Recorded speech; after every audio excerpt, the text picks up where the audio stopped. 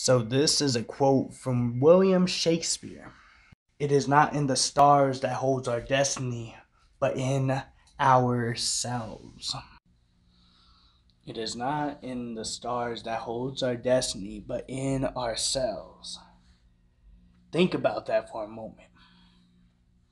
Right? You really gonna put your destiny in the hands of others.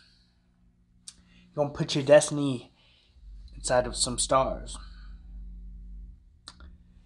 Are you really going to limit the potential of your destiny? The potential of your story? The power of your story? Are you really going to limit that? Just think about it for a second. It is not in the stars that holds our destiny, but in ourselves, right? We make so we make choices we we navigate through life. We make some good choices, we make some bad choices. But we'll reach our destiny. Our destiny could always change. God will rearrange certain things in our path so he could try to get us to the destination that he wants us at. But we but because of free will, because we we tend to think we know what we want, and sometimes what we want is not good for us. It's very detrimental right? So then we make some wrong choices. We don't make it to that destiny that was destined for us from from the beginning of time, right? Our life is like a roller coaster. There's So many ups and downs. There's valleys. There's hills. But the thing is, the destiny, the destination, is still within yourself, right? You you kind you kind of control this narrative you make the choices, you end up where you're going to end up at. You'll end up in a good place, cool. If you're going to end up in a bad place, okay. Sometimes life's just going to have some weird turns, some weird sucker punches, right?